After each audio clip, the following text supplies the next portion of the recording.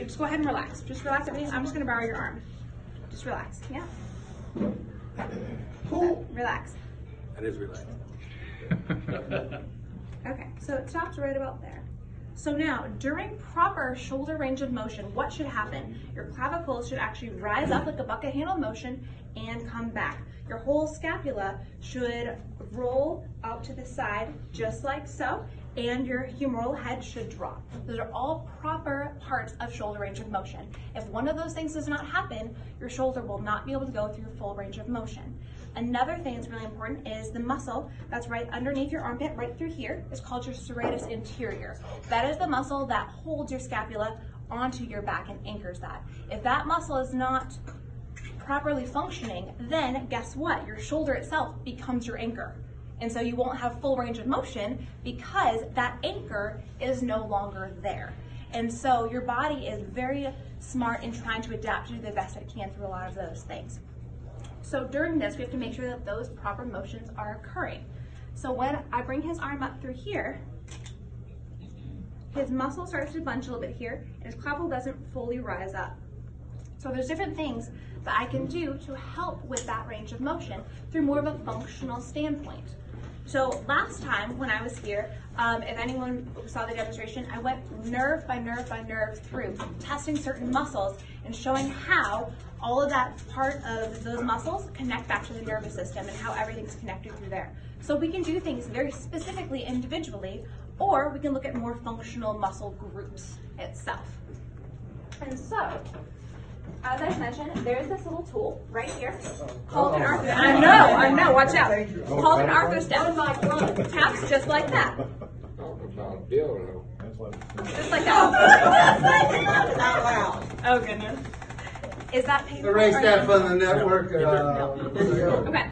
So what I'm gonna do is I'm gonna put this right underneath your clavicle and um, do an adjustment through this. But while I'm doing that, I want you to take a deep breath in and then let it all out. So deep breath in while you raise your arm up, and then let it all out as you raise your lower your arm back down. So go ahead and relax.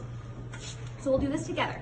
So I'm gonna put this right here, and I'm going to tap, and I want you to go ahead and I'm gonna get right in front of you so that I don't catch your arm. So go ahead and raise your arm up for me. Deep breath in, all the way up, all the way up.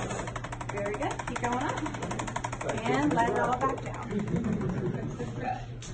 And then same thing. Bring your arm all the way up. Deep breath in.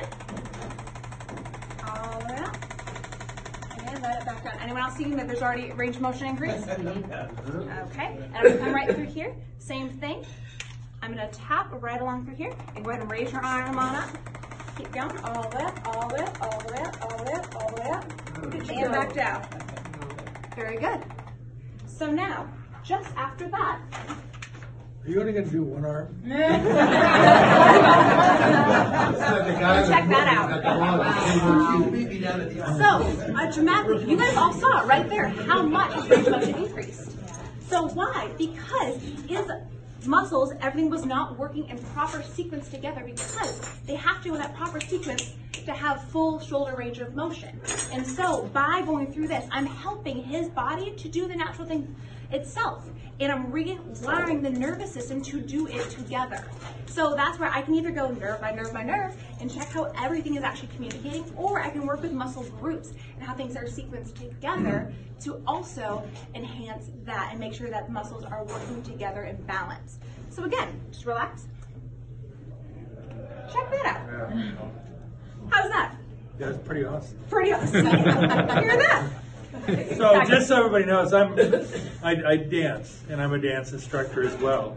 But in, in that process, your arms and shoulders take a, take a beating. So that's part of the reason that I have difficulty lifting all that up. So that's really awesome. And so, how does that Bill. feel to you? Because where people could see the range of motion um, increase. No, I can already, it it, it, you know, it, it feels about the same, but the thing is, is that now it feels the same here Yeah. as it felt here before, right? So, So our it feels the same, but so much increase. so much so increased range of Yeah? motion, yeah, yeah.